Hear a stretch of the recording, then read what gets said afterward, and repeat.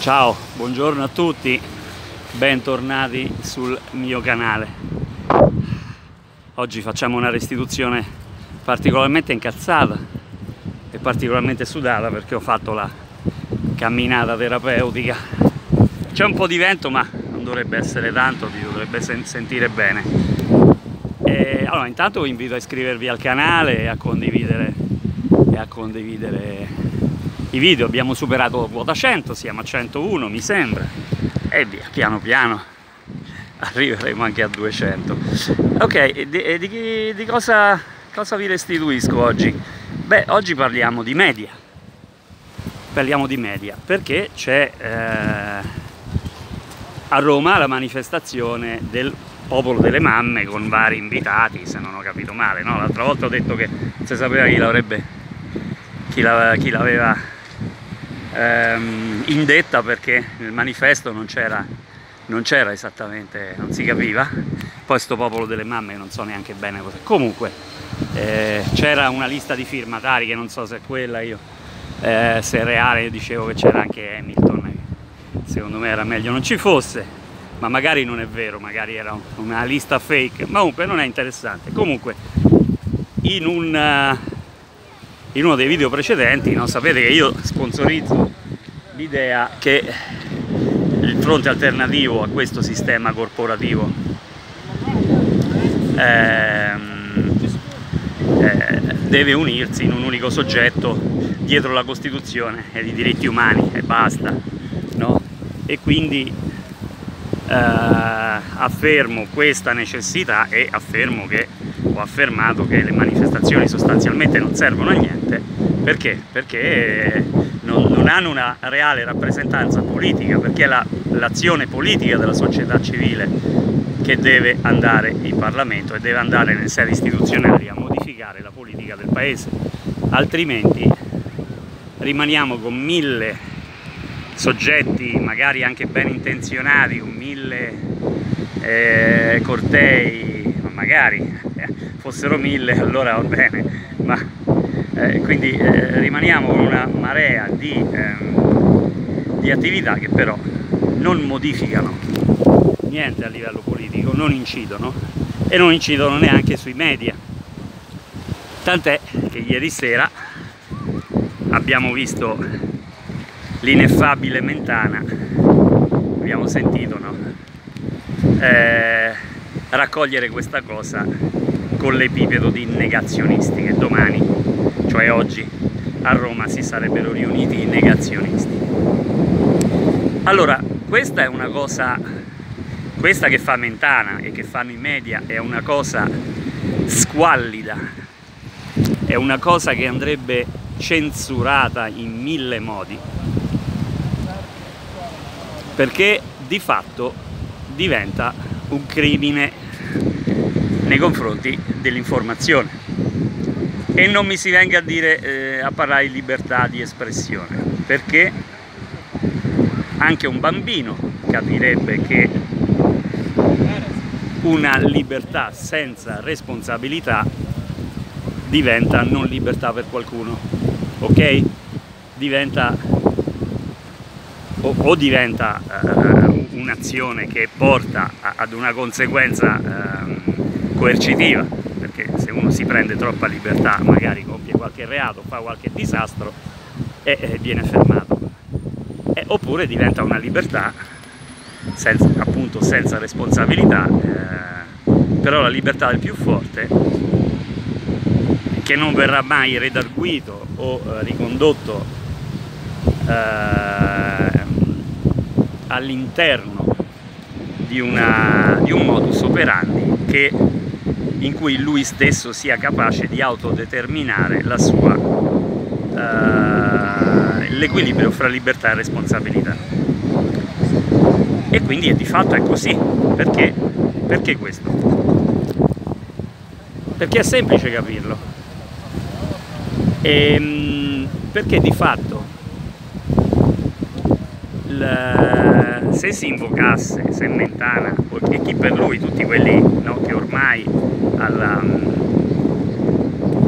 ai critici del, non del Covid, ai negazionisti non del Covid, ma del modo in cui il sistema ha affrontato questa cosa. Perché eh, non credo esista al mondo una persona mediamente informata che, che, che possa dire che il Covid non c'è, che questo virus è particolare, indipendentemente da chi l'abbia fatto, se, sia, se sia di laboratorio o no, se, tutte queste cose. Comunque, indipendentemente da tutto, no, eh, c'è questo virus e ha una sua eziologia particolare e ha una sua azione particolare, affrontabile benissimo senza tutto questo terrore, l'ho detto mille volte, in maniera completamente diversa, senza bloccare i paesi, quindi vabbè sarebbe un'influenza leggermente diversa da quella degli altri anni se non fosse per tutta una serie di mancanze del sistema no? che l'hanno portato no? e, e, poi ha dei conti assolutamente sballati, sappiamo che dentro i morti Covid ci, ci mettono tutto, quindi alla fine eh, nell'epoca della scienza de, delle statistiche e dei dati eh, abbiamo la cosa più praticamente eh, adesso come adesso, sull'umanità in generale, eh, che è basata su una delle complete finzioni. Ma i negazionisti, secondo Mentana e secondo tutti gli altri giornalisti media mainstream, sarebbero quelli che, eh, che non convergono sulla narrazione, sulle misure prese dal sistema, ma eh, dissentono su molte cose, variamente, perché le persone sono tutte diverse, caro Mentana e cari giornalisti. Allora, se noi vediamo bene, no? Eh, questa azione che fanno i media, che fa Mentana, si può ricondurre, si può chiamare tranquillamente un mobbing mediatico. Perché che cos'è il mobbing? Sapete, no? Ormai è una cosa, beh, è una cosa, è una del mobbing è una delle cose della modernità su cui eh, ormai siamo abituati a, a confrontarci, no? nessuno ha, um, ha mai analizzato a livello mediatico veramente perché c'è tutto questo mobbing, quindi l'azione dei media, dei social media, no? quindi l'amplificazione del meccanismo che a livello popolare e sociale, no? Eh, e quindi sai, no? da ragazzini? C'è quello grasso, quello brutto, quello strano, quello diverso, che viene, eh, a un certo punto gli viene attaccata un'etichetta dal più cretino del gruppo o dai più cretini del gruppo e questa etichetta diventa una, un minus, diventa una, una sostanziale diminuzione di dignità per questa persona e diventa il suo appellativo no? e quindi viene vessato poi si arriva anche alla violenza, tutto, no? Però anche quello che resta un po' strisciante, no?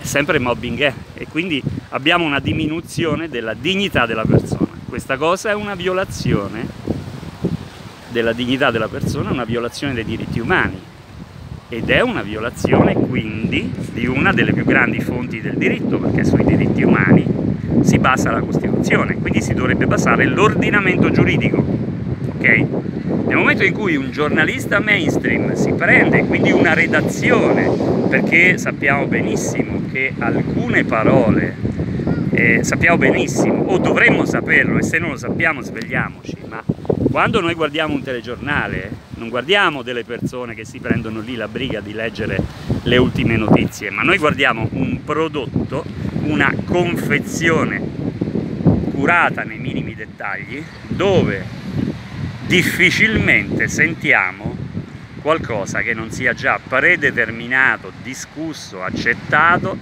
e su cui la redazione non si sia confrontata.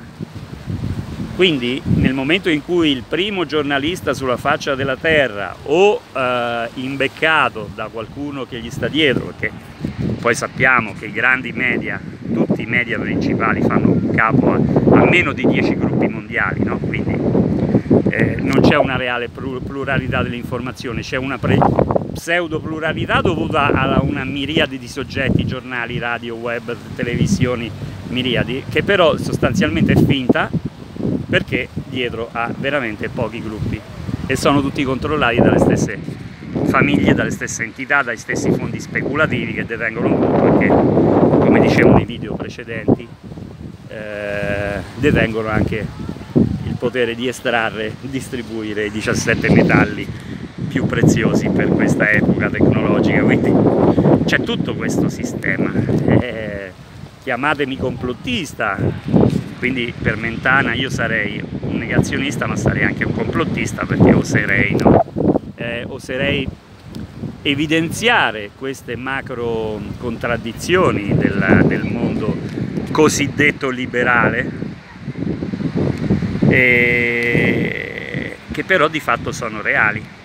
Quindi ritornando al mobbing nel momento in cui il direttore di un telegiornale si permette di ehm, ridurre la dignità e l'espressione che è variegata di alcune persone, di un comitato, di un popolo che si riunisce con un aggettivo spregiativo, lui di fatto sta riducendo la dignità di queste persone, ehm, intanto perché generalizza, poi perché eh, mistifica, quindi dice una sostanziale menzogna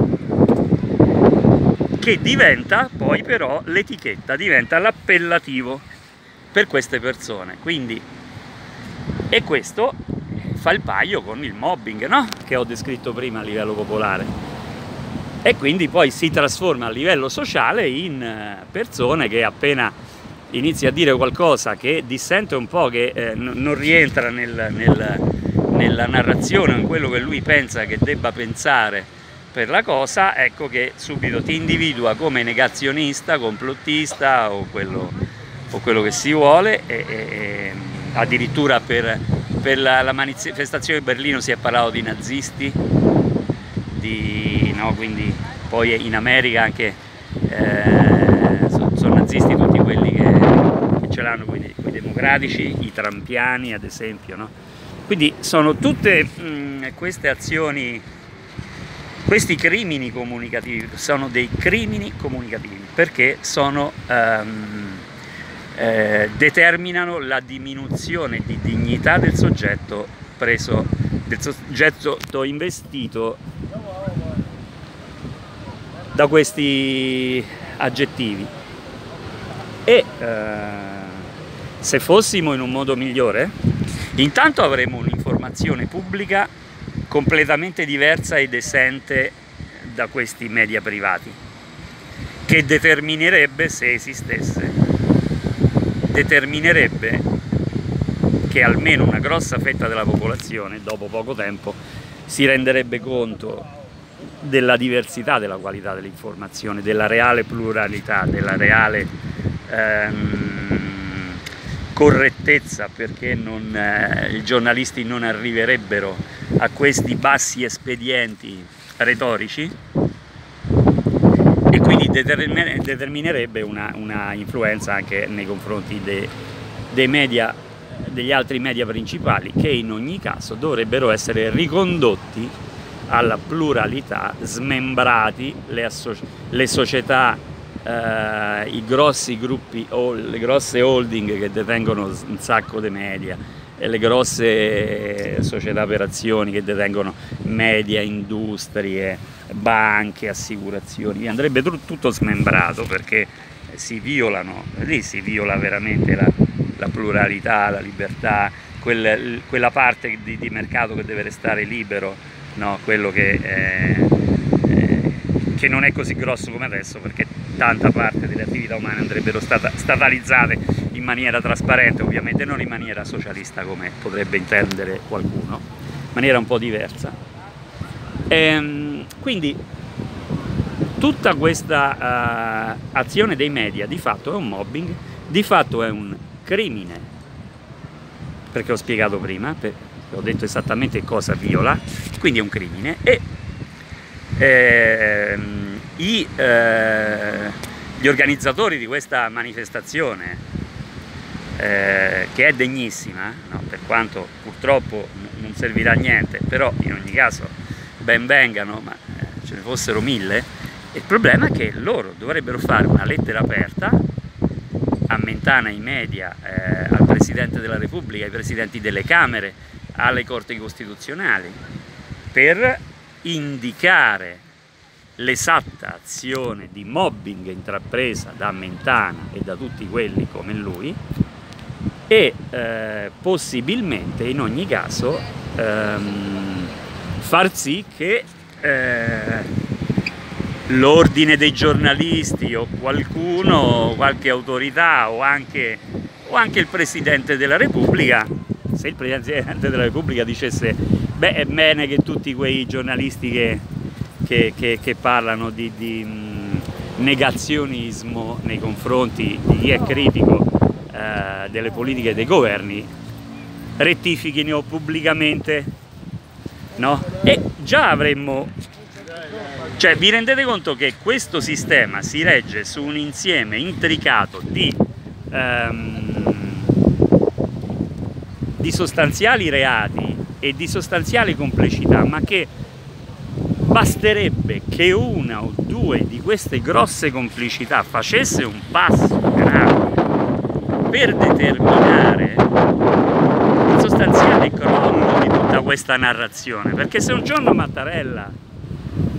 dicesse un suo comunicato a reti unificate e dicesse una cosa del genere e ammettesse sostanziale, il sostanziale squilibrio, la sostanziale menzogna con cui i media hanno affrontato eh, tutta questa narrazione del Covid, denunciasse gli, i conflitti di interesse che hanno i media, che hanno i governi, che hanno i comitati tecnico-scientifici, che hanno che hanno i ministri con l'industria farmaceutica, con le banche, con la finanza.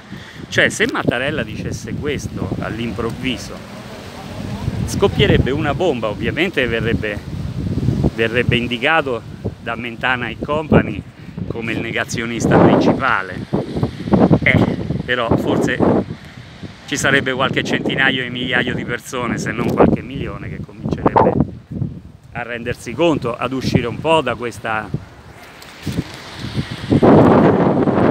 da questo tunnel di tunnel angoscioso di, di, eh, di appiattimento culturale, di appiattimento di informazione, di eh, consenso assolutamente disinformato e quindi magari ci ci potremmo un po' svegliare tutti quanti e capire che il mondo che ci, che ci viene raccontato non è esattamente così.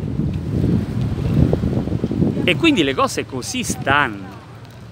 E quindi di nuovo mi rivolgo ai soggetti del fronte alternativo che non attaccano i media, che continuano a parlare del MES, della politica, dell'economia, senza tirare in ballo, senza veramente ehm, indicare i fattori, le basi che stanno alla, alla radice del consenso, del consenso mh, eh, allucinante, completamente sbagliato e completamente sbilanciato per tutto quello che stanno facendo i media ai nostri ai nostri figli, adesso i media e il sistema, il governo, i ministeri, ai nostri figli, adesso con la riapertura delle scuole, con le mascherine, con i distanziamenti, con... cioè c'è una marea, c'è una marea di eh, cose che sono totalmente sbagliate, che sono dei veri e propri crimini democratici che non vengono denunciate ma, anche, ma anzi vengono propagate dai media. E finché il Mentana di turno non sarà ricondotto all'ordine non per, per abolire la sua libertà di parola ma per far sì che la sua responsabilità bilanci la sua libertà, perché i media dovrebbero essere i primi a bilanciare libertà e responsabilità. Finché non, non arriveremo a questo, non si andrà da nessuna parte. Buon futuro di controllo a tutti. Controllo tecnocratico, controllo delle idee, controllo del intimo degli aspetti bioetici. Controllo di tutto lo vediamo dove siamo destinati anche grazie ai criminali dell'informazione come Mentana che non riescono che non riescono a fare un salto di responsabilità e che probabilmente non riescono neanche a guardarsi allo specchio la mattina. O forse sì. Perché probabilmente sono così pieni di se stessi che, che hanno degli specchi che gli rispondono in maniera del tutto particolare, non come i nostri. Va bene, questo era lo sfogo quotidiano, quindi sui media va, fatto, va fatta un'enorme, un'enorme azione riformatrice. Io nel mio libro cerco di indicare le, le linee guida per una riforma dei media, anche sostanziali rispetto proprio alla qualità dell'informazione, alla composizione dell'informazione, alle metodologie con cui si informa, alla scelta, perché di scelte parliamo, non è che parliamo di altro. E quindi, ripeto, dei media pubblici diversi, non appiattiti sul giornalismo mainstream para-americano, filo-americano, introdotto in Italia da Mediaset, che ha distrutto praticamente il... che ha costretto gli altri a, ad accodarsi, che ha distrutto la narrazione e l'ambito civile e democratico del paese. Quindi eh, da quando esiste, da quando si è strutturato bene questo sistema, il, il declino è stato veloce perché poi in tutti gli altri settori economici, sociali, proprio perché è sostenuto da questo sistema apparentemente plurale eh, ma sostanzialmente criminale. Ok, vi invito a riflettere su queste cose e eh, vi invito di nuovo ad iscrivervi al canale e al blog collegato ed a condividere i miei video se vi piace quello che dico e come lo dico e mh, mm, ci vediamo ci vediamo alla prossima forse oggi pomeriggio farò un altro video sul cinema su un altro film che ho visto se riesco ad inquadrare bene il target quello che cosa che mi ispira che cosa voglio dire e poi vedremo ci vedremo più avanti su questi schermi. Ciao, buona giornata a tutti, alla prossima!